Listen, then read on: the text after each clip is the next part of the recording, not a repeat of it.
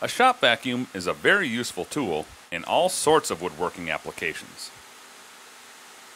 Unfortunately, in no time at all, the filter on your vacuum becomes clogged, affecting the performance of your machine.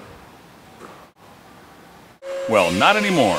It's time to turn your ordinary shop vacuum into a two-stage dust extractor with the Dust Right Separator, a chip separator that stops the debris before it gets to your vacuum's filter.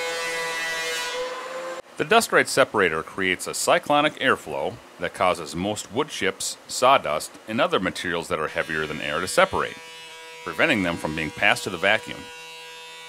This keeps your filter clean and your vacuum running at peak performance and causes less stress on the motor. The separator bucket is made of durable translucent plastic with an easy to see fill line that indicates when it's time to empty the container. The large 10 gallon container holds twice as much as the competitors, so you don't need to empty it as often. The unique two piece bucket is easy to assemble. Simply align the pieces and snap them together. Five swiveling casters are included. They snap into the base of the container to provide stability and mobility when moving around the shop. Connecting the hoses to the input and output ports in the lid is extremely easy. Since the hoses plug into the ports, they make a very secure connection and resist pulling off.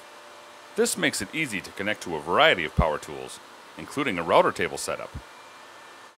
Included with the separator is a 36 inch FlexForm hose, which is used to connect your separator to your shop vacuum.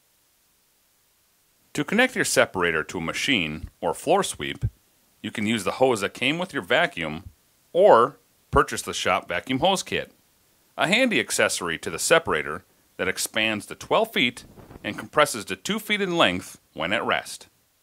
A handy accessory to keep the dust hose neatly on board is the Dust Right hose holder, sold separately. The Dust Right Separator, another great innovation by Rockler. Available at rockler.com or your local Rockler retailer.